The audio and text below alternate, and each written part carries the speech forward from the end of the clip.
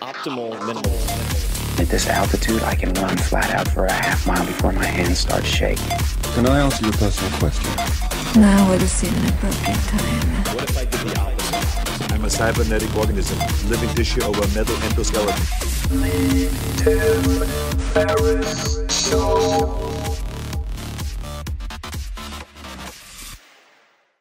This episode of the Tim Ferriss Show is brought to you by Athletic Greens. I get asked all the time if I could only take one supplement, what would it be?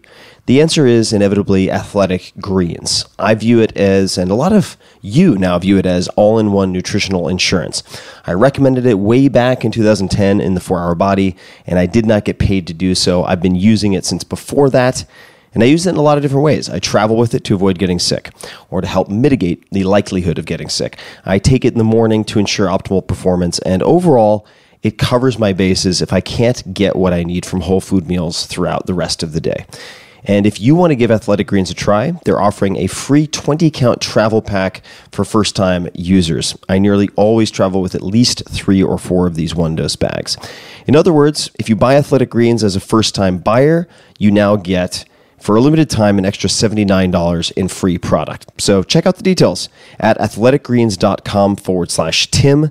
Again, that's athleticgreens.com forward slash Tim for your free travel pack with any purchase. This episode is brought to you by LinkedIn Jobs. Hiring can be hard, really hard, and it can also be super, super expensive and painful if you get it wrong. I certainly have had that experience firsthand multiple times, and I am not eager to repeat it. So I try to do as much vetting as possible on the front end. And today, with more qualified candidates than ever, you need a solution. You need a platform that helps you to find the right people for your business. LinkedIn Jobs does exactly that. More than 600 million users visit LinkedIn to learn, make connections, grow as professionals, and more than ever, discover new job opportunities. In fact, overall, LinkedIn members add 15 new skills to their profiles and apply to 35 job posts every two seconds. That's a crazy stat. LinkedIn does the legwork to match you to your most qualified candidates so that you can focus on the hiring process, getting the person into your company who will transform your business. They make sure your job post gets in front of the people with the right hard skills and soft skills to meet your requirements. They've made it as easy as possible. So check it out. To get $50 off of your first job post, go to linkedin.com slash Tim. Again, that's linkedin.com slash Tim to get $50 off of your first job post. Terms and conditions apply. But check it out, linkedin.com slash Tim. Hello, boys and girls. This is Tim Ferriss, and welcome to another episode of The Tim Ferriss Show, where it is always my job, each and every episode, to speak with a world class performer. And today, performer, I suppose, is very literal in a lot of respects. And uh, this wide ranging conversation will involve my guest, Dita Von Teese. Dita Von Teese is the biggest name in burlesque in the world since Gypsy Rose Lee, who was born in 1911. Dita is credited with bringing the art form back into the spotlight. She is renowned for her iconic martini glass act and dazzling haute couture striptease costumes adorned with hundreds of thousands of Swarovski crystals. This burlesque superheroine, as she's been called by Vanity Fair, is the performer of choice at high profile events for designers such as Marc Jacobs, Christian Louboutin. You'll have to excuse me for my French. Louis Vuitton, Chopard, and Cartier, among others. She's the author of the New York Times bestseller Your Beauty Mark, subtitle The Ultimate Guide to Eccentric Glamour, and has a namesake lingerie collection available internationally at prominent retailers. She can be found on the socials on Twitter, Instagram, Facebook at Dita Von Teese, D I T A V O N T E E S E. Dita, welcome to the show. Thank you. And I have wanted to meet for so long. Amanda Palmer first piqued my curiosity, and there's so many directions we could go, but I thought we would start with a word, haute couture, which which we started to talk about a little bit because I didn't know what it meant. What mm-hmm. is haute couture? Well, I mean, it's like a term that's used very loosely these days. Everyone wants to call it something haute couture if it's like extra special, but it really means high sewing, like a high level of sewing. And so when you talk about a haute couture designer, it's, you know, there's like a ministry of haute couture in France where you kind of get the stamp and you can call your clothing haute couture. So it's kind of loosely used. You know, you'll find like haute couture donuts and things like that, you know, but it's really not accurate. So I always say that I do, you know, haute strip. So it's like a high level of strip, but, you know, wearing haute couture costumes, which means they're, you know, made with the, with uh, extravagance and excellence that is not, you know, something you can buy in a store. So, speaking of things that you can't buy easily, in a store because you forged your own path in a lot of respects. I would like to take a 90 degree turn, I suppose, from where most people would expect me to go and talk about uh, vintage cars. So it's my understanding okay. that you've done very well in collecting, flipping, refurbishing, vintage cars. Yes. Where does that come from? Well, it first started in the early 90s. I was big into the swing dance scene and pinup, you know, a pinup model. And um, I had a boyfriend that drove a 1930s car. And I sort of thought, I should have a 1930s car. So I got my first uh, car, a 1939 Chrysler New Yorker, when I was in my early 20s. And um, I love that car, and I used to drive it all around Orange County where I lived. And I didn't, I didn't, um, I sold that car not that long ago, maybe like 10 years ago and I bought it for like $8,000 in the 90s and sold it to someone in Germany for like $30,000. So I thought this is kind of I should do this more. So I started buying more cars. I met a really great guy that helps me with my cars. And so he goes to all the auctions and finds things at a good price. And then we fix it up. I drive it for a while because also for me with vintage cars, I like cars from the 30s, 40s, and 50s. But with vintage cars, there's kind of, it's like a relationship. I've had cars that I had a bad relationship with, like the brakes going out. And, uh, you know, there's a, I had this 65 Jaguar S Type for a while that I loved. It was so beautiful. I actually bought it on eBay while I was drinking red wine and taking Ambien, which was probably not the best idea. But so I picked up this car and I, it was so beautiful. Um, I picked it up when I was sober. It was still beautiful. I was glad I bought it, but it was not a good fit for me because the brakes kept going out on this car. And you could imagine that's really terrifying. Yeah, sounds like a downside. One moment in particular that I remember was I was pulling up to the Playboy Mansion. And, you know, this is like in the 90s when it was like these amazing parties happening. And I remember going up the hill and knowing the brakes were starting to fail and just leaning out the window to all the valets brakes don't work and they all ran and you know i was going up the hill quite slowly at that point but all these like valet guys running in their red coats to stop the car. So uh, and then i just got out went to the party and you know had the car taken care of the next day. But it was one of those things where i couldn't get i kept taking it to mechanics and they were like the brakes are fine. The brakes are fine. And then i'd get in it again and then they'd go out on me. So um, I feel like you have to have the right fit with a vintage car. And so I, I buy them, I drive them, and I decide if it's the car for me or not. Like, do I, is it easy for me to drive? Do I love how it feels to drive it? Does it leave me on the side of the road or not? And so I've kind of just, right now I have uh, three cars. I have a 1953 Cadillac that I've had for a long time, a Fleetwood. Uh, I've had that one for a while, and I love that one. And I have um, a 1940 LaSalle, which is a Cadillac. It's a convertible, like a big black gangster car. Really beautiful, but I don't drive it that much. Uh, and then I just bought a car. It's called a Woodill Wildfire. And it's a convertible. It looks like the Disney Cars car. So I bought that one actually to flip it because it's super, super rare. And it's not really the kind of car that I can cruise around LA in because it'll be like a really, you know, it'll go to Pebble Beach for sure next year. Hmm. So I'll drive it for like a year. I'm having it all done up, and then I'll take pictures in it, drive it, enjoy it, and then, you know, flip that one. Now, is part of the ability to flip these cars associated with the fact that you have driven them, or is that a selling point, or is that uh, is that not part of the selling process? I think it's a little bit of both. I feel like vintage cars are one of those things. If you can keep them for a long time, they will always retain their value. It's just you have to not be desperate to sell it and you can always turn a profit. But yeah, like having you know the pictures or video or you know me getting photographed with it. Um, that's you know, but I don't just buy them and take pictures of it and then sell it. You know, Right. I really use them. I really love them. You know, And you you collect or you have collected other things, or I should say, uh, vintage cars are not the only vintage that you've acquired in the past. No, I mean I pretty much collect dead people's things, all of all kinds. My house is like a museum. I am a maximalist. I love. Um, I I like recyclables too. I like vintage clothing because it's another thing that retains its value. Uh, I started wearing vintage um, when I was just out of high school.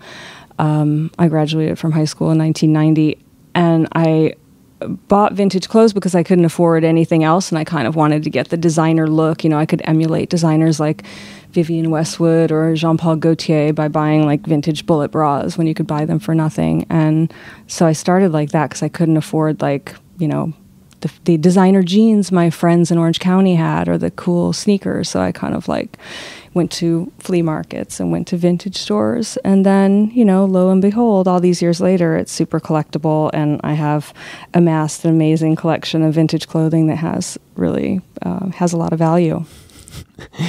it's amazing how that works, uh, and it makes me think of like my my habits and hobbies with comic books as a kid. I mean, I didn't Mm-hmm. acquire them to have them appreciate and value, uh, but like you said, lo and behold, It's kind of a, a life lesson, right? Like if you do things with authenticity, like that's what I've always retained from there's it's a common thing of all of my life lessons is like things that are authentic if you do it in an authentic way, you know, like what I never said I'm going to be the world's most famous burlesque star. I'm going to be a stripper in the modern times.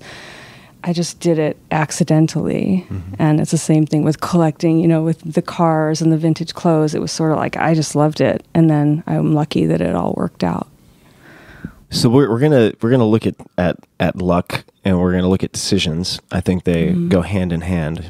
Very often you have maybe not equal doses of each, but certainly doses of each.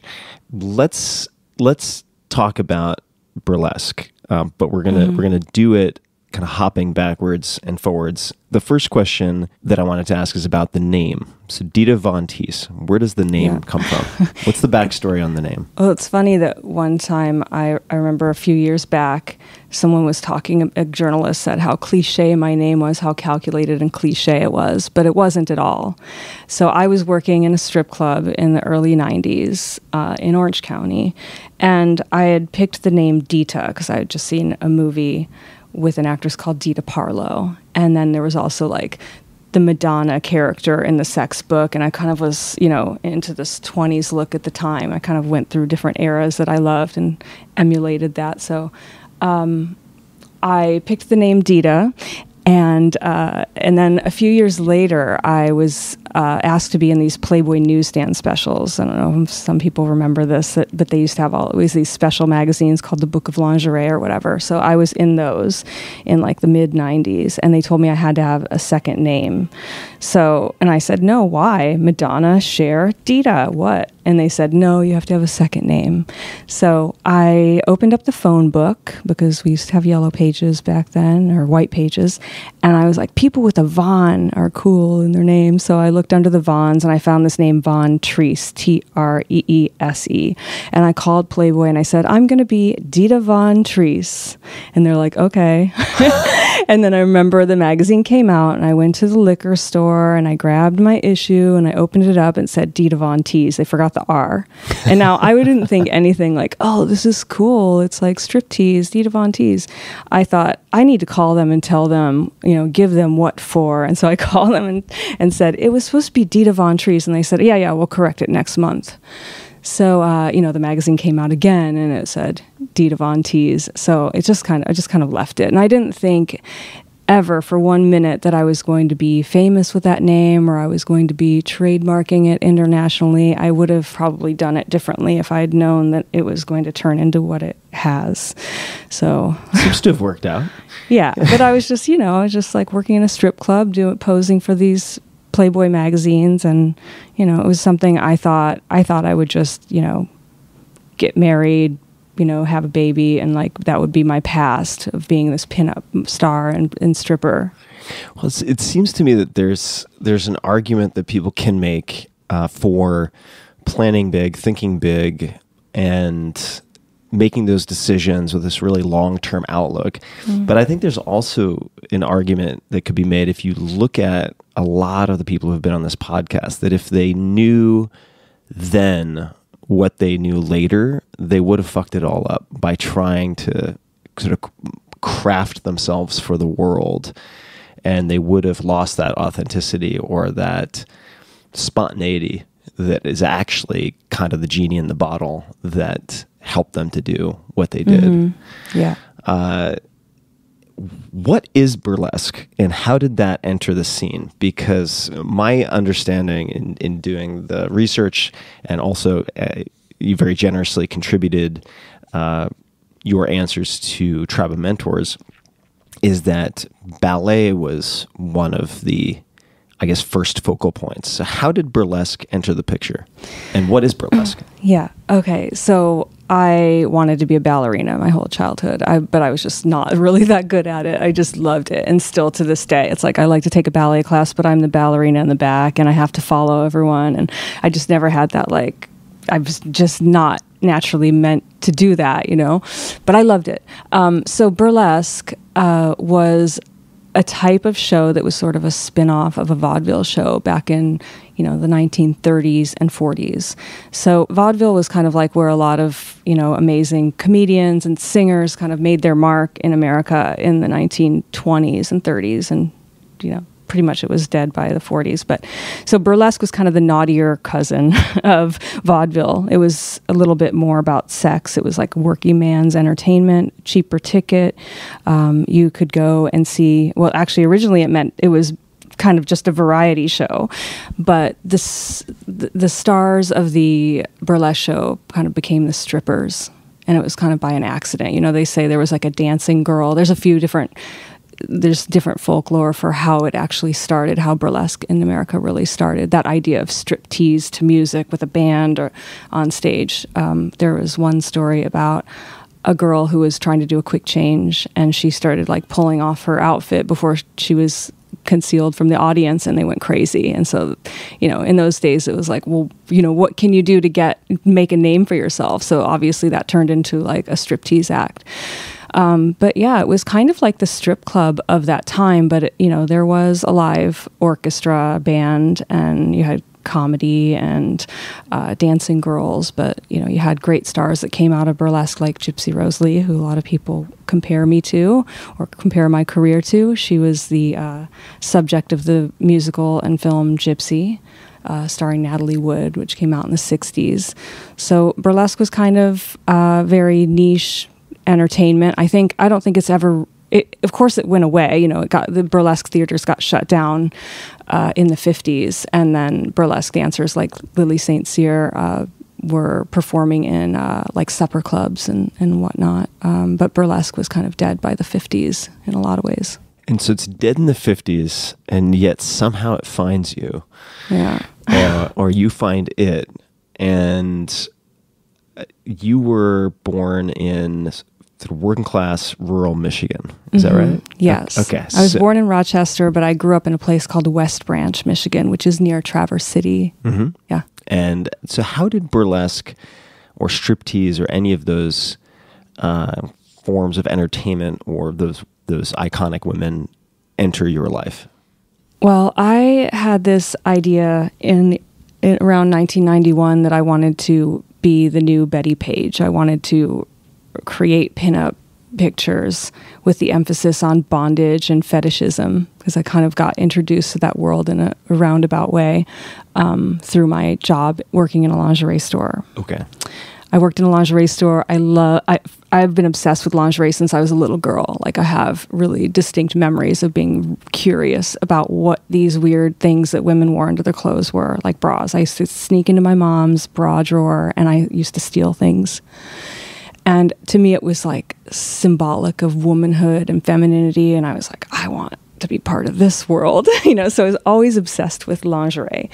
Um, anyway, I became obsessed with like things like garter belts, stockings when I was a teenager. I worked in a lingerie store. I asked someone for. Um, I, I'd been looking for like a Victorian corset, and someone gave me this gave me this address uh, when I was like 18, and I walked into the store where they I supposedly could get something like that, and it was a fetish store, and it kind of opened my whole my mind to this whole other world that I had no idea existed, and I was shown this picture of Bettie Page, and I thought, why isn't anyone doing this now? and I decided I was going to be that. And so, in the progress, you know, the process of me um, making all these pinup pictures and even bondage movies and all these things that were from that, you know, in a 50s theme, um, I would be looking at these vintage magazines, and a lot of the, the models that posed for these vintage magazines or these fetish magazines that would say they were a burlesque dancer too. I was like, burlesque dancer.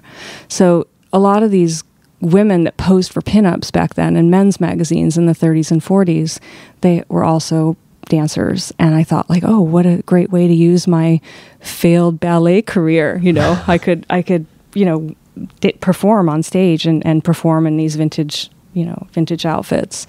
So i you know my first stages for that were strip club regular strip club. And then as i became more famous like with playboy and everything i would headline the big strip clubs all over the united states and i'd get you know then suddenly i i was the most famous fetish model in the early 90s too so i was performing at this like torture garden in london and the fetish ball here in la and kind of doing all these like fetish parties Okay, I have so many questions. I have so many questions. Thank you for that. Uh, so, so, so the your career and trajectory is so interesting to me on multiple levels because, and then I can list off all the reasons. But there's a there's a the the perception that I have is that the say strip club or stripping strip tease world is very would be very difficult and very competitive because you have a, a lot of beautiful women or beautiful mm-hmm. girls and the i- at least in, in some places i would imagine the, the sort of barrier to entry is is is decently low. And yet you were able to craft this this unique career for yourself and really differentiate yourself. And i, I want to harken back to uh, something we were chatting about uh, before we started recording, which was you know Amanda Palmer in I guess the the art of asking, if I'm getting the title right, talked about you because she contrasted what you did, and feel free to fact correct, but with a lot of what was happening at the time, where you'd have these sort of bleached blonde mm-hmm. women, completely nude, you know, enormous fake breasts, doing their thing, getting kind of singles or fives, and you'd have this elaborate, long strip tease with much more clothing. And then there was one guy who would give you a 50, and it was like, Yeah. that guy's your customer. yeah So, which which to me is so beautiful because, uh, and I'm gonna read a, a, a quote here, if if I may. This is from your answer in Tribe of Mentors. If you could have a gigantic billboard anywhere with anything on it, what would it say and why? And the quote that you gave was, "You can be a juicy ripe peach, and there will still be someone who doesn't like peaches." And I'll, I'll just finish this real quickly. This is a quote that my friend's great grandmother told to her, and she told to me, and I've always loved it. And you go on to say how, in the public eye, as a burlesque star, you've been called brilliant, stupid, ugly, and beautiful in equal measures. But you found your niche, you found mm. your true believers.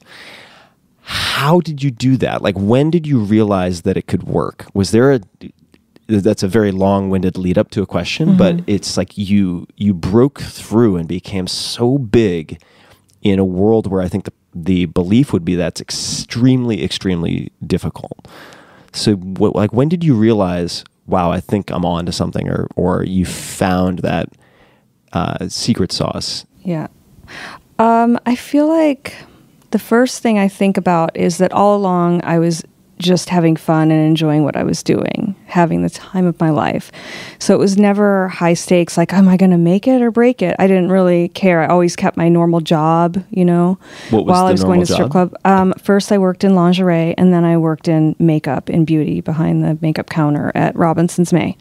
So I kind of always kept my other my my my job, um, and so it was never like if I don't make it, what am I going to do? I just thought like this is fun. So I think not having like that pressure, um, but there's certainly a couple turning points in my career where I mostly felt I had to live up to accolades I was getting suddenly. Like when I was on the cover of Playboy in 2002 for the Christmas edition, it was still a time when Playboy, everybody knew who was on the cover of Playboy and people cared. It was kind of before it was all reality stars and it was when you had like actresses wanting to be on the cover. So it, that was a pivotal moment in my career. And then, um,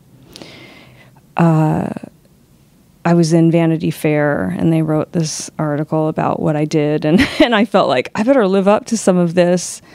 Um, and that kind of made me take myself more a little bit more seriously. And then I came out with a book where I told my story, not in an autobiographical way, but a photo book uh, with Judith Regan, and she kind of let me go wild with this book. And it was the first time that HarperCollins and Regan Books had done a book like this, where it was sort of autobiographical, but mostly a photo book.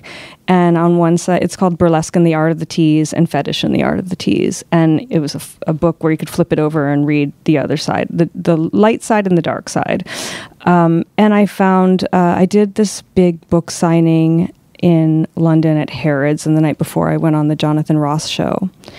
And when I showed up, um, they had blocked off the streets, and there were thousands of women there. they were, it was like a sea of like girls with red lipstick on, and I suddenly went, "Oh, I didn't know that I'm standing for something now." And I realized that by just telling my story about feeling like I wasn't um, you know, wasn't very beautiful, wasn't very talented, all these things, it kind of, you know, resonated with other people. It said, I felt that way too. And I kind of just felt like I had a mission and something to stand up for and realized that all has to just come from speaking my truth and being authentic and not like calculating because, you know, talking about what we were saying earlier, there's so many people that want to be the new me and they're going to be more Dita Von Teese than Dita Von Teese was and they're going to make their career and they're going to be more famous than me and do better than me.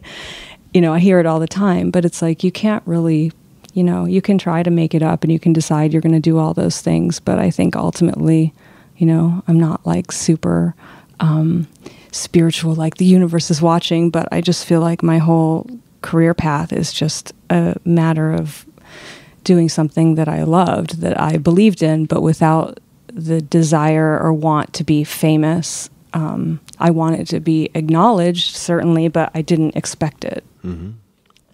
when did you when did you know you could make it a full-time gig so i'm thinking about the road leading up to the cover of playboy i would imagine a few things happened leading up to that uh, when did you end up quitting those backup jobs I think I ended up quitting those jobs around 2000 and uh, 2000 maybe, like right before Playboy, and that's when I was really touring um, and and shooting pictures. And I also met my ex-husband Marilyn Manson. A lot of people know me because of him. He's always been a cheerleader for what I do. Um, and still is in a lot of ways. So uh, I think that that was a moment too where I felt like I could focus completely on showbiz instead of um, my paycheck because I was also like, let's be real, I was, you know, basically his cook. I'm a good cook. I was sort of like the housewife and took care of him while he was making records. He made a record called The Golden Age of Grotesque, which was sort of a tribute to my world. Mm-hmm. And, you know, around that time, I was sort of, you know, moved in with him. We got engaged, and I was, you know, packing his suitcases, unpacking his suitcases, you know, acting like personal assistant half the time, but also had the freedom to, you know, start building, you know, put big props up in in our backyard and rehearse on them and, and make bigger, better shows. So that was kind of a moment where I could focus more on that. you have said that um, the advice. Well, actually, no. I'm going to come back to the advice, not the advice uh, to your younger self, but that your your 16 year old self might be surprised that you've managed to find your voice and that you experienced a lot of fear uh, Yeah. as as a kid. Uh, and you do, I mean, just in our interactions leading up to recording, I mean, you you seem very, in some ways, very introverted, uh, Yeah. or, or or on the shy side, which is not a bad thing. Uh, how did you find your voice? What changed? Yeah, I mean, I grew up really shy. Like I remember being in grade school and being sent, but you know, and I was sort of always confused by this. Um, but they sent me to like a speech class or something like this because I was so soft spoken. But mostly, I was just terrified for them to ask me anything or call on me, and I felt that way through high school and everything. Um, I could have never, you know, I used to duck out of speech class, like, or, or, you know, in high school when you'd have to give speeches. Oh, I would never, you know, I never went to theater. I didn't want to be an actress, nothing like that. Um, but I liked, you know, I liked ballet, I liked performing, but that was different. Um, and I feel like I found my confidence actually with first, it's one of the things I talk about with my book is learning how to find confidence in how I present myself and and you know listen it's it's like it's like drag the way we dress ourselves the way we wear our hair the makeup we wear I feel more confidence than when I'm you know with the character I created which is not you know I don't it's it's a character but it's not it's like an aesthetic character but I'm not I still find the importance in being still the Heather Sweet from Michigan and the vulnerability coming across not just with the appearance I've created, but on stage with how I perform. Heather Sweet, for people who don't know, your birth name. Yeah, I'm Heather Sweet. Uh, it sounds like a stripper name. I know my my uh, yeah. Um, what was I saying? You were talking Yeah. about confidence and the Yeah. when you put on the and I'm just paraphrasing here, but when Mm-hmm. you put on the persona that allows you to assume a level of confidence that you don't normally have yeah, access I felt to. like wearing um, wearing my makeup a certain way and wearing my clothes that change my posture and make me want to walk proud or people wanting to wondering who I am. Who's that girl? You know, mm-hmm. it, it slowly but surely helped me gain confidence and and of course there are I feel like it's it's definitely about maturity too, right? Like we're you know when you're in high school, you're a certain maturity level. It's just when you think about the science of it too. And I just kind of thought eventually I learned that if I make mistakes in front of people, it pe- there are people that are all saying I'm like that too, and it's endearing. So when uh, I was a spokesperson for the MAC AIDS Fund for the MAC Viva Glam thing, and I had to give speeches all over the world. And I was so scared, but then I realized that once I got up there and I'd have a have a triumph, it made me have more confidence. And so I love to challenge myself in doing things that terrify me. You know, I I have never been a singer. I cannot sing, but I got asked to make an album by one of the greatest French uh, musicians, and I thought, okay, you know, I said to him, you know, I can't sing, right? And he said, this album wouldn't work with a singer, and I wrote it for you. And I thought, okay. And just the whole process of going into a studio and being, in, you know, around all these like sound technicians and this artist that I admire so much, um, and like learning and going to that place of feeling like Heather Sweet from Michigan again. I enjoy it and I come out of it, you know, and it's one of the things I think my fans and people that know me like about me is that I'm not trying to like look at me I'm so glamorous and I have confidence in everything I do. Like I don't talk like that. I don't act like that. I, you know I know how to bring it on stage but I also know that the little things that are the real me are what make it an interesting thing to watch mm-hmm.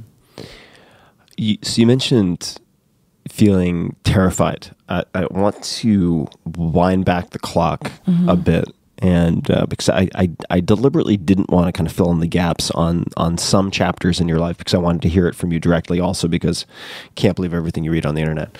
Uh, were you? Is it true that you were that you were thrown out of your house in high school? Yeah. Well, my parents were getting a divorce, and I always feel so bad talking about this um, for my dad because he'll, you know, it's one of those things I haven't really gotten around to like sitting down and talking to him about, but I will.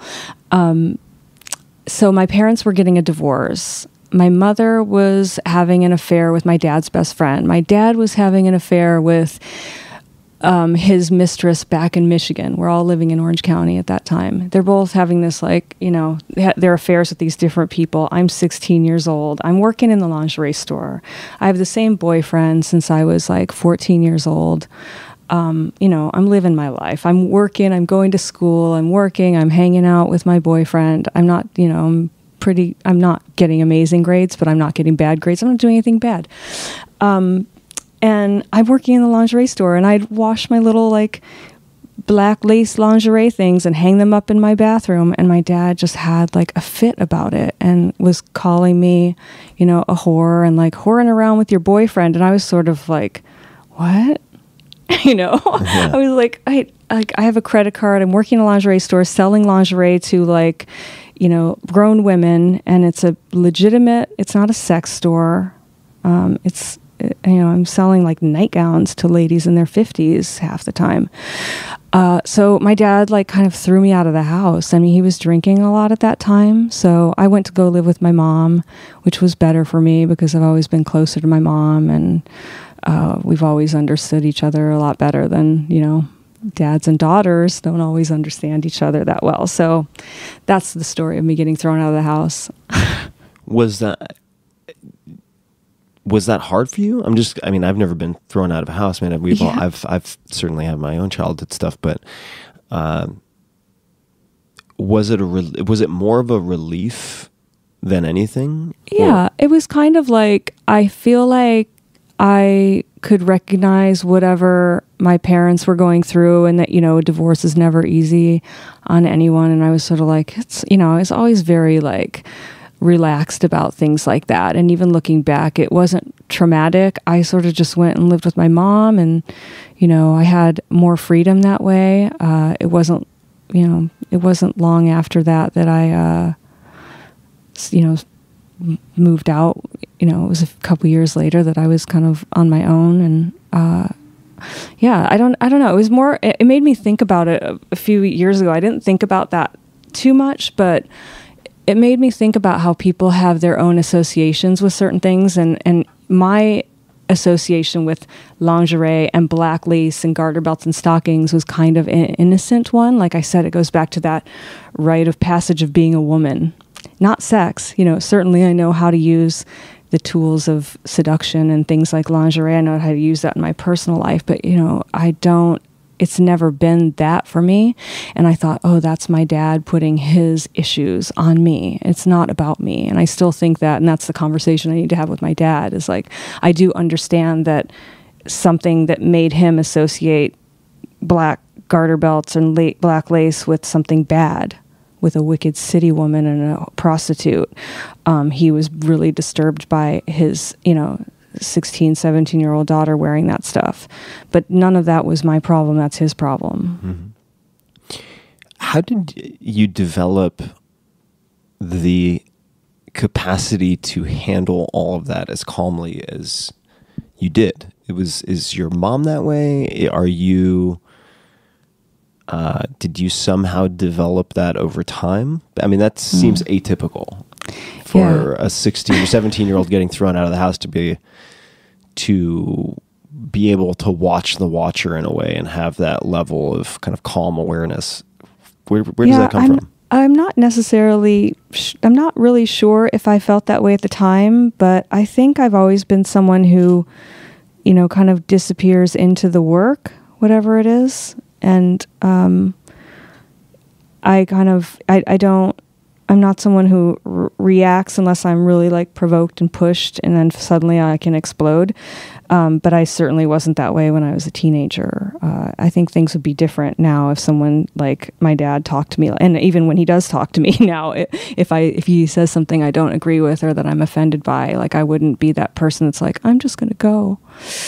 Um, I'm a little more confrontational with with with, with my my father uh, now. You know. So the, you mentioned the ballet and wanting to be a ballet dancer, and uh, I want to come back to that because uh, going back to one of the questions in Tribe Mentors, I asked, you know, how is a failure or apparent failure set you up for later success? Do you have a quote favorite failure end quote of yours? And th- there's a lot to the answer, so I'm not going to read all of it, which is a great answer. But uh, you mentioned at one point, you know, truthfully, I never really loved dancing per se. I loved what ballet stood for, and then you went into what that meant. And the, the part I want to highlight here is I believe that sometimes our shortcomings can lead to greatness because those of us who have intense desire but lack natural God given talent sometimes find roundabout ways of realizing dreams. So, this I think is really, really, really important. Uh, because there are certain places, certain fields of endeavor, certain careers that require mutant like attributes that you're either born with or you are born without. I agree. And if, if you want to sprint alongside alongside Usain Bolt, good luck. Like you better have some very unusual genetics. If you want to be a superstar ballet dancer at the top of the world, similarly, you need there's a certain phenotype, a certain build, and there are attributes that that that are prerequisites in a lot of respects. You managed to take uh, your abilities in different areas and combine them into something unique. Uh, what are other either failures that helped you along the way or uh, key decisions that you think have helped you to craft this very unusual path for yourself? Yeah. Um, for some reason, I've always loved people that are have like shortcomings, or when you read, you always read about people's opinions, like, "Oh, she's not that good of a singer. Why is she the most famous singer in the world? There are better." You know, I always loved those people. Yeah. and so I'm kind of you know because I can relate to them. You know, um, and I I those are always the kind of singers I like. Like I can't stand listening to vocal gymnastics. Like when people are like the great singers of today, I like people that have flawed voices or interesting voices that have like commu- that communicate. And I always felt the same way about dance and myself. Like I'm just trying to communicate. I'm trying to be on stage instead of look like I'm trying to dance. You know, I get insulted a lot with she's not that good of a dancer even. And I like, "Oh, actually I probably could be, but I don't want to ever look like I'm trying too hard because to me like sensuality and eroticism is an epic fail. If you look like you're trying to do it, it's better to do less. Yeah. You know, I mean, for, like I, I, I even think when I watch someone like Beyonce, her best moments are when she stops. You know, she does all this crazy stuff and then she stops and breathes, and you're like, yes, do more of that. You know, it's so great. Um, so I, I'm. That's that's just. I think that my failures and not really finding what that thing that I might be amazing at is because I also I'm always fascinated by what you were saying like how does someone you think of all these people that are walking around and what if they could have been the greatest whatever but they were never given the opportunity or they weren't interested in it? Like what if they could have been the best like basketball player or they could have been the best actor but like they never had the opportunity or the interest in trying it? And there's Yeah. probably people out there with hidden talents that could have been the best in the world and they would never even know it and I, I think that you know why I like this this answer you gave uh, and this topic is that whether it's people listening, whether it's you and what you've done, uh, you are not limited to 27 preset tracks called careers. Right? Like you can be the best in the world, but you have to figure out how to be the best Dita Von Teese in the world if Yeah. you're Dita Von Teese. And you mentioned, you know, people trying to out Dita Dita. Like that's never going to fucking work, right? Because they like try all the time. They try, but like they're they they should race their own race, right? Yeah, it's like yeah, they're they're yeah. they're not going to have the endurance or the enthusiasm or the passion or the lack of attachment that you had in the beginning. Mm-hmm. So they've kind of in, in a way already lost, right? Like they're Yeah. they're they're trying to dominate in a category of one which is already owned by Dita. And uh, I think quite a bit. I've had uh, two folks on, on this podcast, Marc Andreessen, who's a very famous entrepreneur and an investor, and then Scott Adams, the creator of Dilbert.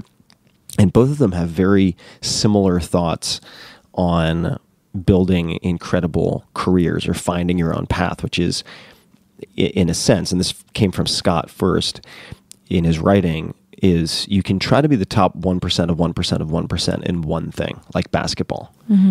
But you are going to have a hell of a time doing that and you you are going to be relying heavily on attributes that you are either born with or without.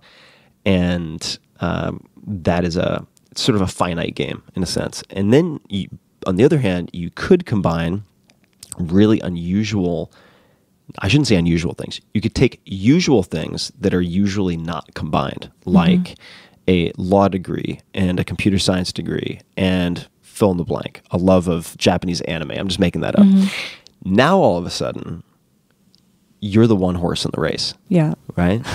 uh, what other you, you've mentioned a few of the women who have inspired you. Are there any other, uh, whether it's uh, women inside or outside of burlesque, or uh, really anywhere, who inspire you along those lines? Kind of people who have have carved their own path. You mentioned Madonna earlier. This is something I also wanted to mention. Like she's had people throughout her career say, "Oh, she's not she." Doesn't know how to sing. She has no idea how to dance, or whatever it Oh, is. she makes a movie. She can't act. Yeah, She and- directs a movie. She can't direct. but she's fucking Madonna, right? And So Yeah. like, why is she Madonna? Like, that's a really worthwhile question Yeah. to ask. For decades, she was Madonna, right? I mean, she still is Madonna, but like, she's she's been able to reinvent herself successfully so many times, and it's because she is the best at combining all those disparate. Yeah, but not only that, people sometimes forget, and this is the thing that bothers me. She was the first person to sort of like, I'm going to make a music video on stage. And Yeah. the shows with all the dancers and you know all of it around her. Um, she was the person that was like, "I'm going to make this stage show that is like a spectacle." And so every you know what bothers me is that you, people definitely have every show. That's the benchmark now. Everyone has to try to have all these dancers. They have to have designers making their outfits. They have to do all this stuff. But sometimes they these people will forget where that they wouldn't even. She's the one that paved the way for that and inspired everyone to do that. Um, and you know, I it bothers me when somebody doesn't get credit for that. You know, yeah, for sure. I mean, because I watch people all the time that are like they'll imitate one of my shows, but then they act like they never saw me, when they've never heard of me before. Yeah. you know, because there's always that. Everybody wants to be recognized. They want to be feel like they did something that was the first thing, you know, and they changed the world. And but it's honestly like, why don't you do that first, you know? And then you can, instead of just trying to sweep it under the rug that you saw, you know, you saw somebody else do it, and mm-hmm. you decided you were going to try to make it better, but you didn't. No, I agree. I, I totally agree. Are there what other notable influences have you had? Uh, any gender, any discipline? Um, does anyone come to mind? There's there's one that I can definitely bring up just because I think she's okay. amazing. But no, no, no. I want to hear. Oh, Madonna. Okay. No, Yeah. no, Madonna. Well, I That was, was the also, one that- Uh, there, no, no. well- I I brought her up as as uh, just someone top of mind that I didn't Yeah. want to forget. Uh, well, let's just jump to it. Mae West. Oh yeah. Mae West. Mae West. Who, Uh, who I is- mean, who she- is Mae West for people who don't know? she's okay. She was an actress that has. I, I think there's still no one that's ever done what she has. Do you know much about Mae West? Very little other than uh, what you wrote about her, Okay. just because of her her incredibly well titled book on sex, health, and ESP. Yeah. Yeah. Very rare book. Yes. Uh, but also her quotes. I've just found her quotes to be so brilliant Mm-hmm. in, uh, in uh, all right, I've had a few too many cappuccinos prior to this interview, which is why I'm all over the place. But I, just to get it out there, so when when I get attacked by someone on the internet, usually I don't reply. Before that, I don't even go looking for it. But if I just happen to be having a tough day and, and I and I come across someone and feel compelled to feed the trolls, uh, I will very often respond. It's usually because I've offended somebody in some ridiculous way, and I'll, I will almost always just reply with a Mae West quote, which is "Those who are shocked easily should be shocked more often." Yeah. and I just let her do my speaking for me. But who is who is okay, Mae West? so Mae West is this fascinating. She was the biggest sex symbol in the 1930s, and the things that make her fascinating the short version, are number one, she made her first film at age 40, and she was the biggest sex symbol of her time. So that's, imagine that now. also, she wrote every line she ever said in every film. So when you look up Mae West quotes, and you will get like the best quotes ever written, the best one liners ever written, you know, she is that like, and that's what she said. You know, she's like the originator of that kind of quote. So, and then she went to the studio bosses when she made her first films and became a sensation. She said, How much does the studio boss get? I want more than that. And she got more than that. And she was the only person, she was the only actor, actress that made more than the studio bosses just because she asked for it and she demanded it. And she was, you know, a, a, sensation back then. So she's kind of like a sexual gangster too. You know, she was the one that flipped the script. Everything was, you know, women were, had a certain role in Hollywood, and she was kind of like the male version. And she, even when you watch her film, she's objectifying men left and right. It's just, it's astonishing to watch. And I can't think of anyone in history that's done what she's done since. I mean, to, to actually write every line in every film um, is kind of, and she made so many films. And of course you know she's there there are some of her th- things about her that are pro- problematic because it was a different time but um, you what, know what for, kind of stuff is problematic? Well you know i mean they she she appeared i mean there's a great documentary coming out about her i hope people will watch but you know she grew up a lot of people say she appropriated black culture with the, with her like her swagger and the way she sang and talked and everything and that was kind of a, an imprint of childhood because she was actually like a child actor in a minstrel show. So that was kind of like she just picked it up, you know, and mm-hmm. turned it into something totally different. So that's, you know, that's one thing. But, you know, then we could also argue like she completely swirled it into something new and became Mae West. And you know, Mae West is like this character that, you know, there's never been another another one like her. And you know, she's drag queens do Mae West. Everyone does Mae West. You know, it's like this character that we've never seen again. And and when you squint your eyes, you're like, that's Mae West. So um, yeah, she's someone I definitely admire. She went to prison for like writing a play about sex. I mean, she was talking, she was sex positive in a time before it was popular. I mean, she wrote a play called Sex. I think she went to prison for like a week, but you know, she loved it because she got to hang around all these other women and write more material, and she felt like she came out better than ever because of it. Workshopped yeah. the prison visit. Yeah. So uh, she is a fascinating person. I'm glad they're finally. There's some great books about her. One of my favorite one is She Always Knew How, um, but she also wrote. That's the name of the. Yeah, book. She Always Knew How. That's a biography about her that I really like. There's several, and of course she wrote an autobiography. And if you can ever get your hands on Love, Sex, and ESP, uh, is it Love, Sex? Okay, it's Sex, Health, Sex, Health, and ESP. Sorry, mm-hmm. um, that book is great. Uh, I used to read aloud from that book in, in Paris. I'd get my friend. I lived in Paris for a short time, and I'd get my friends together, and we'd all drink champagne and re- read aloud from that book because it's so crazy. Great. Do you have a favorite? Any? Do you have a favorite film of hers? Um, Not one, really. Or, It's or like- one that you would suggest people start with. It's hard to say. I would suggest anybody interested just go and start watching Mae West clips, like watching some best ofs, like reels of her quick one-liners of the things she would say. Uh, that that's what I would say because it's one of those things where the clips are almost better than the films in their on their own. You were just talking about Mae West writing her own lines, and I read something that may or may not be true. You can tell me. Do you use stylists or do you not use stylists? I don't in my personal life. Mm-hmm. I am forced to often in my professional life, like for photo shoots for a magazine and whatnot. But I am self-styled. You know, when I go on the red carpet, I kind I just pull from my own wardrobe, or I have direct relationships with the designers. I've, mm-hmm. Which has kind of always been, you know, a good a good thing for me is having that direct contact with the people that I want to be dressed by. Um, that whole machine of like hair, makeup, stylist, like I can't I can't be bothered with all of it. I don't need it. I feel like I know if it looks right, it is right, and um, and also that's kind of what I built my whole career on is being self-made and you know in my books empowering other women um, to be able to do whatever I can do. I I don't know if this is apocryphal or if it's a real story, but I I had read of some stylist picking up some some very uh, I suppose classic vintage shoes and saying, "Oh, these would go great with jeans," and you're like, "Okay, I think we're done."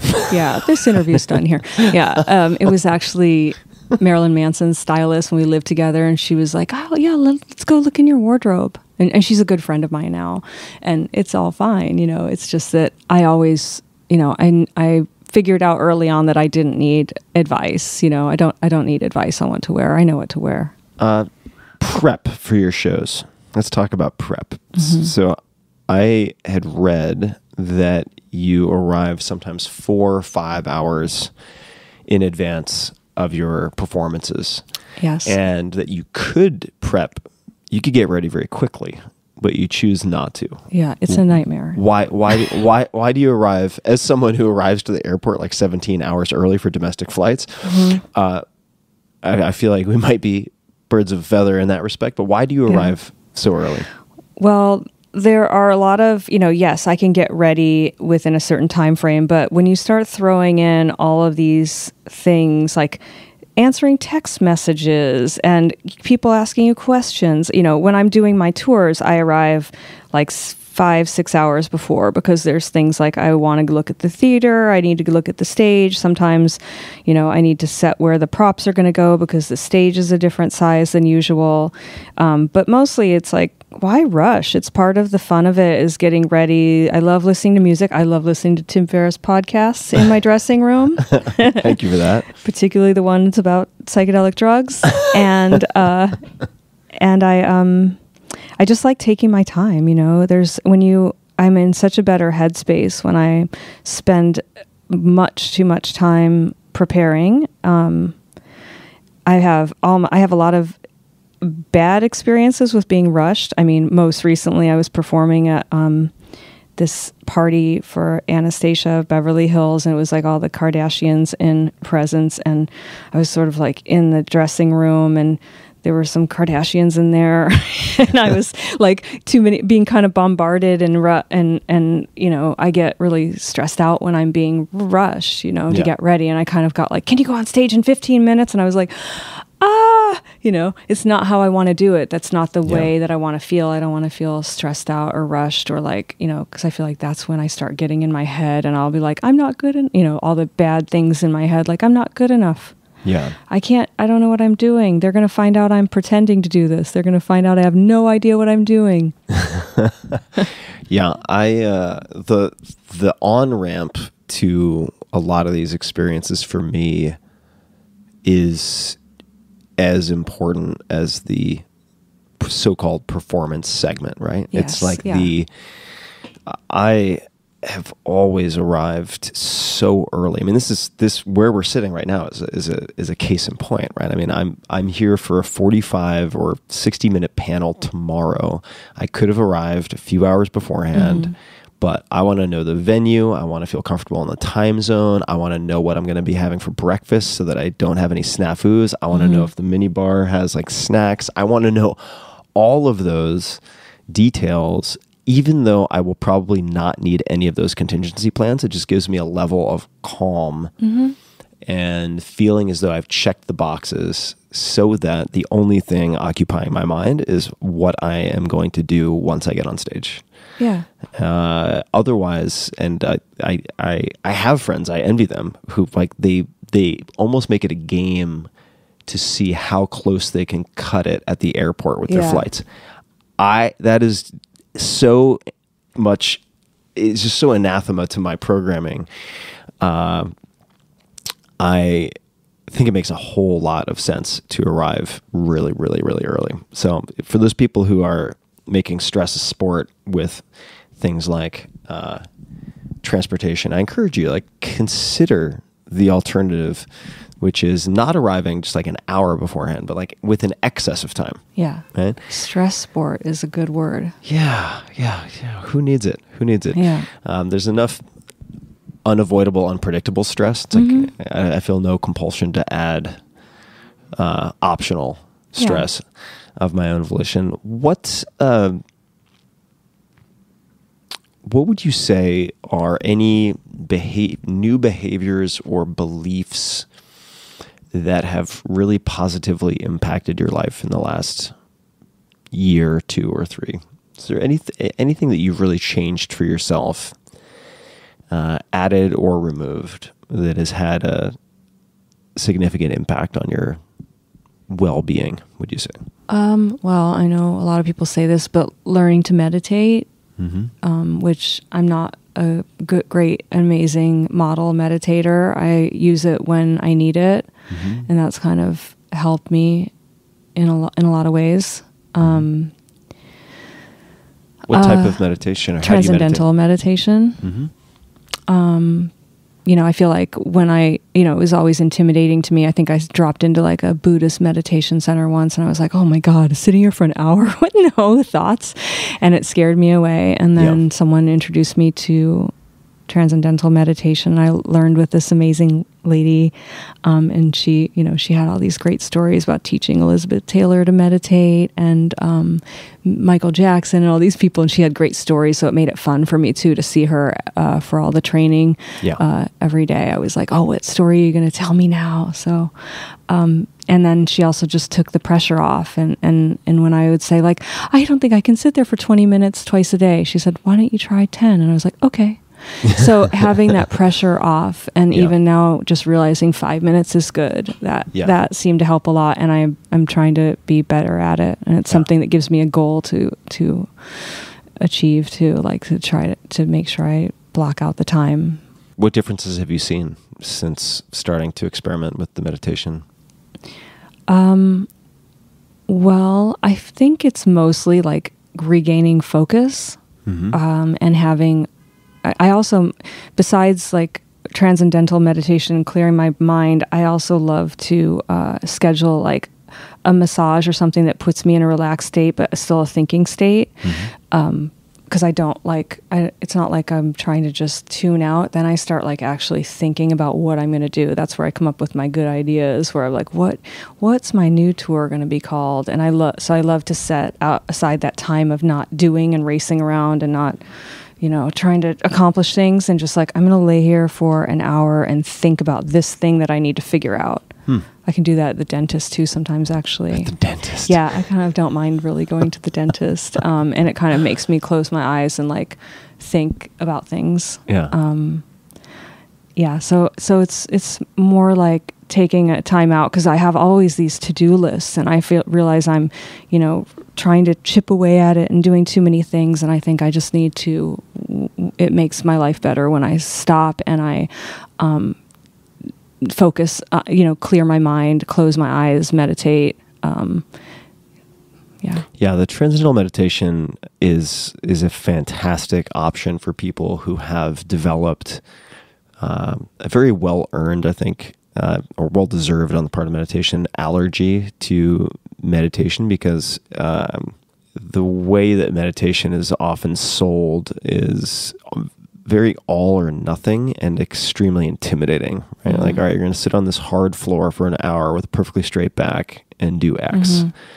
Uh, whereas TM, especially with a, a good teacher, can keep lowering the bar until it's easy to step over. It's not something you have to do, you know, Olympic uh, high jump over. They they make it less and less intimidating until you can get started, right? And then once you're sitting there for ten minutes, you're like, oh, okay. And Yeah. oftentimes you're like, okay, I can, I can go fifteen. Okay, I can go twenty.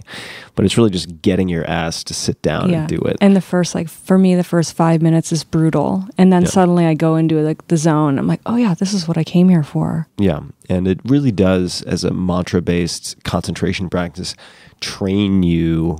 right, At least this has been my experience. You said helping with focus to return to something over and over again, uh, and like you, you'll end up drifting off and thinking about your to-do list or porn or whatever, and then you're like, oh wait, I'm supposed to be meditating, and then you go back to your mantra.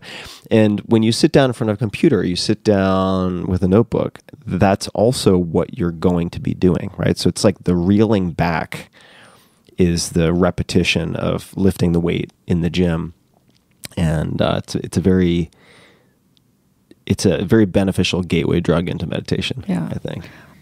I also love taking a time out during the day, actually by myself, and sipping a little magic mushroom tea and going, oh, okay, this is what, you know, kind of gets to the essence of things, like a simplistic appreciation for the beauty of the world. I'll just, Yeah. you know, I can look in the garden and I'm like, oh, yeah, okay. Yeah, Do this once in a while. that'll definitely do it. Yeah. Uh, what? Uh, now, there's there's advice I referred to earlier to your younger self, and uh, the the the advice that you gave in Tribe of Mentors was actually no, it wasn't in Tribe of Mentors. I take it back. This was in an interview. Uh, was in effect to to be a little bit more vigilant, right? To to look over your books, to pay attention, Yeah. uh, so that you wouldn't be taken advantage of. Uh, because the world we live in, it's full contact. You know, for better or for worse, if you're going to be on the playing field, like there are going to be people who want to separate you from your money and many other things.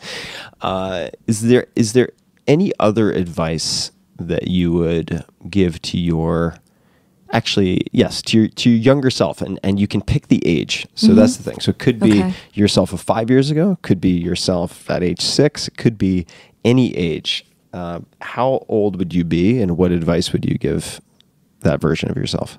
I think in my mid 20s, I would have told myself to try to maybe buy a house, like even if it was something small, I would have done that.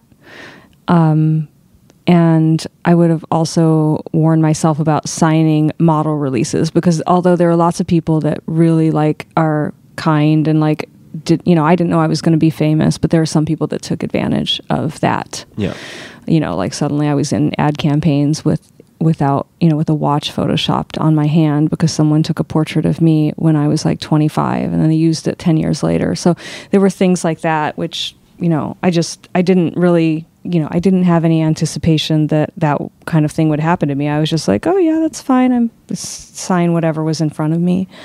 Um, but, you know, I guess people could have taken advantage of me no matter what yeah if they wanted. what um, what advice do you think yourself 10 years from now would give your current self Oh, no one's ever asked that. Um, gosh, it's hard to take advice from your younger self. um, Yeah, well, if Hmm. you were giving, uh, if if your older self were giving your current self advice, meaning you right now, we're getting advice from your older self. What do you Hmm. think your older self would say? oh God, I'm worried that my I'm worried that my older self might say that I should have had a child. Hmm. I'm concerned about that. You know, I'm not concerned about right now, Yeah, but sometimes I go, oh God, I really hope that doesn't happen.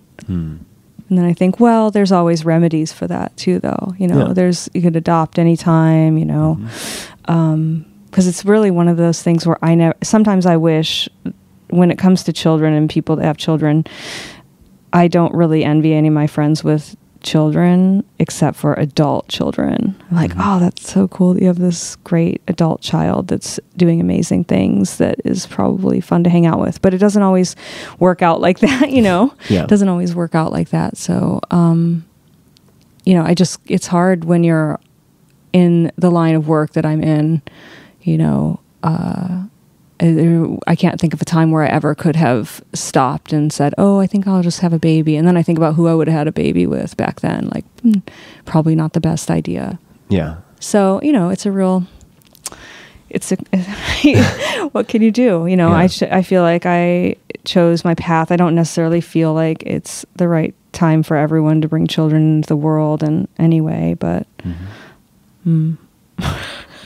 no, I think I think that you know I I have friends who have kids who are very happy. I have friends who have kids who are totally miserable, and I have friends Yeah. without kids who are both very happy and some who are very miserable. Right, So yeah, I think yeah. it's kind of another variable. are you having children? Interested? You know, I appreciate you asking. Uh, I don't have kids that I'm aware of currently. I did not plan. There, there's a long period of time where I did not plan on having kids, in part because I was afraid of fucking them up in some way. uh, and that I felt like the risk that the decision to bring a child into the world was inherently a selfish one. uh in a way, right? Like you're not doing it for your kids in a sense. You're doing it because Right. you want kids. Yeah. Number one, and that if there were potential risk of, or almost a guarantee that you're going to damage your kids in some way, and certainly I don't know anyone who's made it out of childhood unscathed.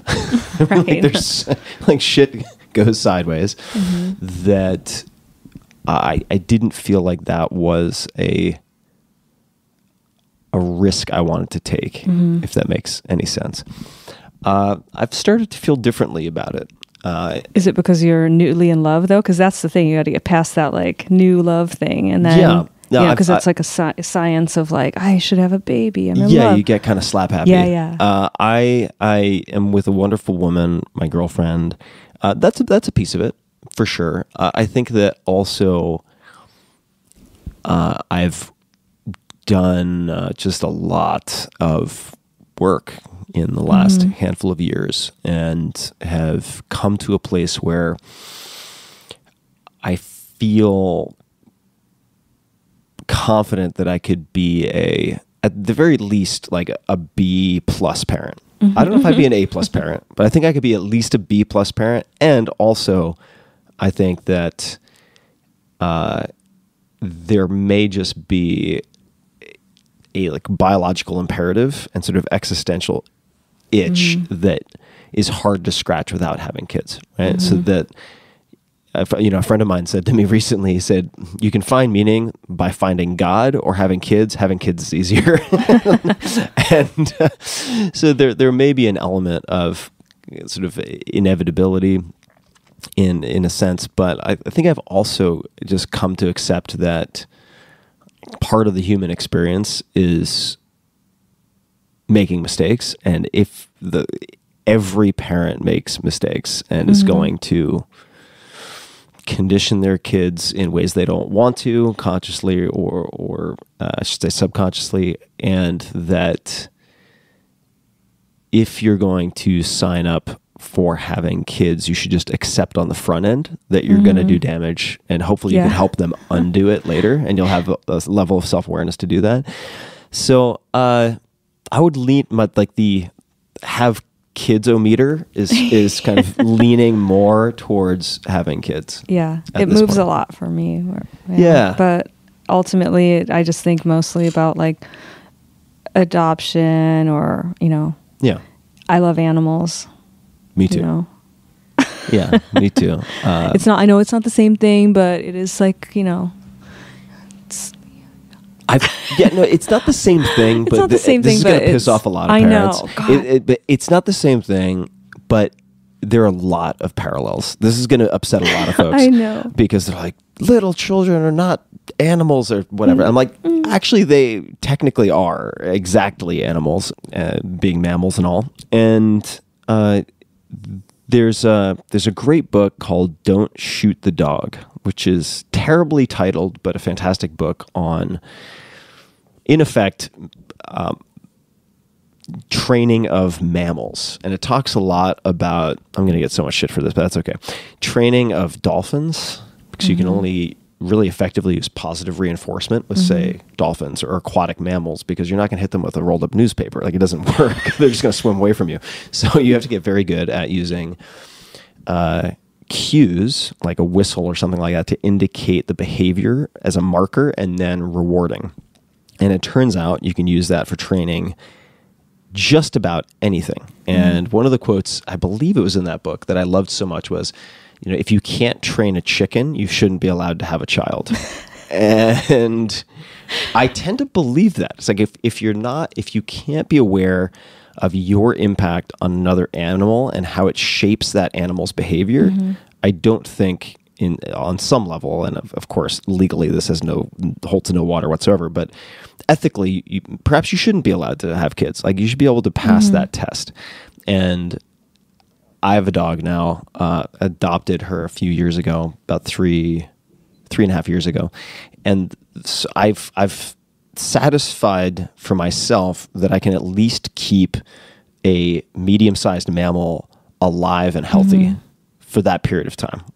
And um, so we'll see. Anyway, I'm talking too much, but I think that's in part because it's it's been on the brain. And like you, it it flips and flops. Yeah. When I go to the airport and I see like kids having a complete meltdown and their parents like pulling their hair out and just having a hellish time of going through the process, I'm like, I'm not sure.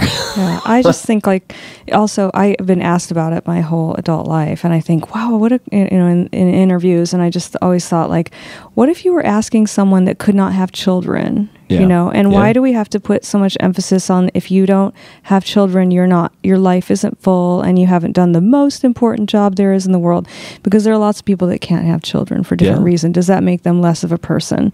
So that's one of the problems I have with people always putting so much emphasis on the importance of yeah.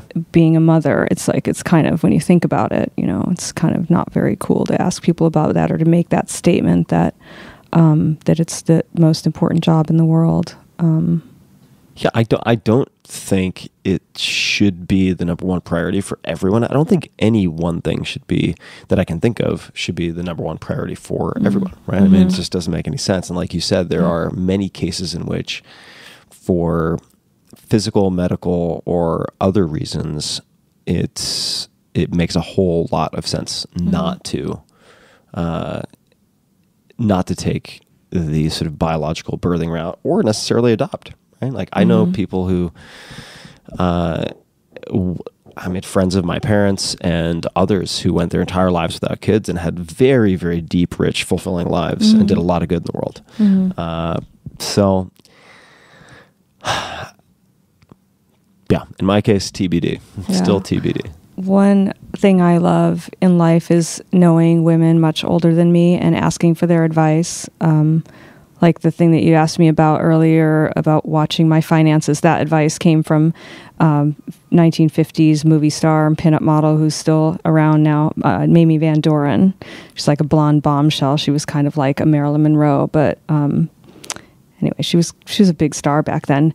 But anyway, I know her and I love to sit down with her and have her give me advice. And that was one of her things. It's like watch your money. I know it's not fun and it's not fun to look at numbers and challenge people, but watch it all. And she also had said to me, she has an, uh, one son, and she was like, I love my son, but it wasn't the most important thing I did in life. It wasn't. It's not something you have to do if you don't feel inclined. And she said, and if I'm looking at the world today, the way I'm looking at the world today as ha- compared to how it was in the 50s and 60s and 70s, she's like, I wouldn't do it now. So I thought that was interesting. I like talking to. people. I have another friend named Ilona Royce Smithkin who's hundred years old, and I love getting on the phone with her and hearing. She still has amazing advice.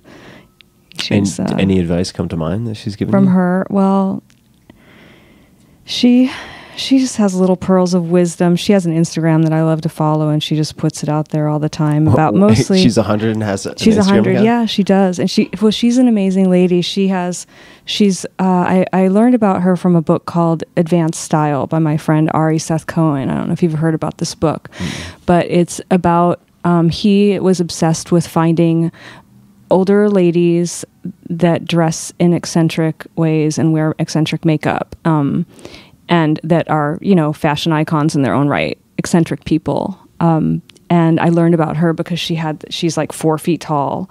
She has this flaming orange hair and she makes her own eyelashes like long red eyelashes blue eyeshadow. And she's an artist and she's you know she has a show i think too. Like she's a singer um like in in uh provincetown and anyway she's like she's was this her name amazing- again? her name's ilona royce smithkin Oh boy. How do you spell Ilona? i i l o n a yeah All right. And we'll put it in the show notes as well. Okay. For her Instagram and so on. Yeah. All right. But she's an amazing, but his book in general is amazing because it spotlights all these, like, you know, elderly people. And, you know, there's a lot of talk about you shouldn't wear that because you're of a certain age, you, you know.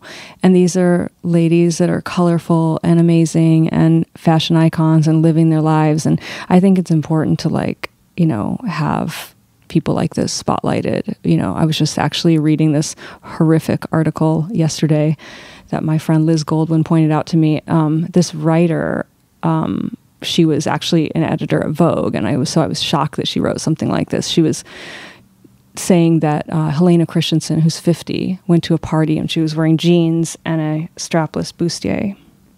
And she said it was completely inappropriate um, for her to be flaunting that much skin at her age. And mind you, she looks fantastic. When I'm hearing about this article, I Googled it, you know, and I read it.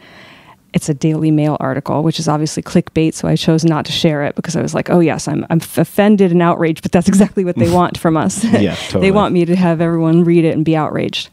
Um, but I did find it disturbing because they were basically saying she was saying that once you're past childbearing age, you're you know you shouldn't be wearing clothes like that, or you should you know pay, open you know the you know pave the, let let the other the young people have their chance. And I mean, if you can see this picture of Helena Christensen, you'd be like, she looks so hot and she's perfect. And she says things in this article like, no matter how invisible your bingo wings are, I don't even know what that means. well, you know, like when, you know, this, what is that? Oh, your tricep? Yeah, you're, tr- what is that? Yeah. But I was like, what are you talking about? And they, she said that it's okay for men because they can procreate at any age, essentially. But once you are, you know, beyond childbearing years, you shouldn't dress like that. And I just found it amazing that she used to be the editor of- in at British Vogue. Wow, it's a For, very like, in the 90s. perspective. It was um, really shocking, and you know, anyway, I just So- it, it's a real interesting conversation though about like ageism and and how how uh, you know we we treat women of a certain age, and it's one of those things that I feel like it's important to stand up for.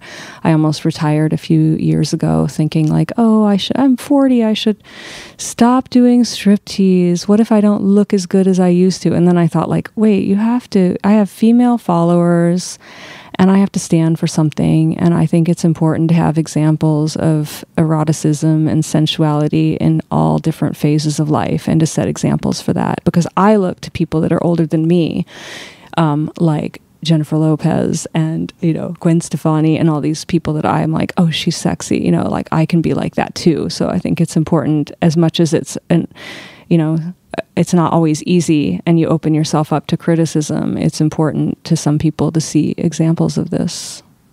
So, Here, here. Well, Dita, this has been so fun. I uh, really appreciate you taking the time. And we're going to link to everything that you mentioned in the show notes so people can find all of that very easily. And for people listening, that's just a tim.blog forward slash podcast. And if you search Dita, D I T A, it'll pop right up. Now, I mentioned the social accounts where people can learn uh, what you're up to, see what you're up to, also more accurately in terms of at Dita Von Teese on Twitter, Instagram, and Facebook. Are you more active on one than the others? I'm mostly active on Instagram, I have to say, but right. I definitely use Facebook and a little bit of Twitter. I can't help it. It was the first one, still good. and uh, do you have any current projects or upcoming projects that you would like people to check out or keep an eye out for? Yeah. Um, well, I have my lingerie line, which is at like Bloomingdale's and Nordstrom and a lot of online retailers. Um, I'm working on another book called Fashioning the Femme Totale, which will come out. It's a follow up to my um, my beauty book that I that I wrote, and that one will come out uh, I think in September 2020. And this year, I'm touring with a new show, uh, kicking off in Australia in November, and then doing like eight weeks in Europe, uh, March 2020 through April. And then I think I'll do the US sometime in 2020 as well. Well, you have a very exciting year, two years, and many years ahead of you. Uh, thank you so much for taking the time. Oh, thanks for talking to me. This is really fun. Do you have any closing comments, requests, anything at all that you'd like to say before we wrap up? I can't think of anything. which is which is the most common response. Uh, that's what everyone uh, I, says, th- I think we covered plenty, and uh, I really hope people uh, stay tuned. And I will provide everything that we spoke about in the show notes, as I mentioned. So thanks to you for being here, and thanks to everyone for tuning in. And until next time, craft your own path. Do not try to be the best of someone else. Try to discover and also piece together the unique path that only you can forge. So, on that note, until next time, Bye bye. Hey guys, this is Tim again. Just a few more things before you take off. Number one, this is Five Bullet Friday. Do you want to get a short email from me? Would you enjoy getting a short email from me every Friday that provides a little morsel of fun before the weekend? And Five Bullet Friday is a very short email where I share the coolest things I've found or that I've been pondering over the week. That could include favorite new albums that I've discovered, it could include gizmos and gadgets and all sorts of weird shit that I've somehow dug up in the uh, the world of the esoteric as I do. It could include favorite articles that I've read and that I've shared with my close friends, for instance. And it's very short. It's just a little tiny bite of goodness before you head off for the weekend. So if you want to receive that, check it out. Just go to 4hourworkweek.com. That's 4hourworkweek.com, all spelled out, and just drop in your email, and you will get the very next one. And if you sign up, I hope you enjoy it. This episode is brought to you by LinkedIn Jobs. Hiring can be hard, really hard, and it can also be super, super expensive and painful if you get it wrong. I certainly have had that experience firsthand multiple times, and I am not eager to repeat it. So I try to do as much vetting as possible on the front end. And today, with more qualified candidates than ever, you need a solution. You need a platform that helps you to find the right people for your business. LinkedIn Jobs does exactly that. More than 600 million users visit LinkedIn to learn, make connections, grow as professionals, and more than ever, discover new job opportunities. In fact, overall, LinkedIn members add 15 new skills to their profiles and apply to 35 job posts every two seconds. That's a crazy stat. LinkedIn does the legwork to match you to your most qualified candidates so that you can focus on the hiring process, getting the person into your company who will transform your business. They make sure your job post gets in front of the people with the right hard skills and soft skills to meet your requirements. They've made it as easy as possible. So check it out. To get $50 off of your first job post, go to linkedin.com slash Tim. Again, that's linkedin.com slash Tim to get $50 off of your first job post. Terms and conditions apply. But check it out, linkedin.com slash Tim.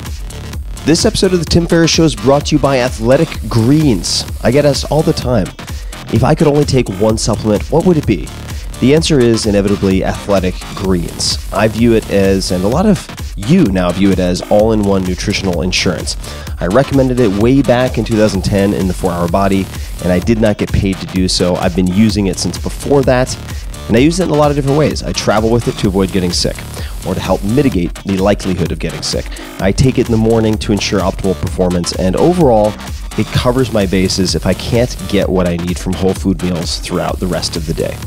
And if you want to give Athletic Greens a try, they're offering a free 20 count travel pack for first time users. I nearly always travel with at least three or four of these one dose bags.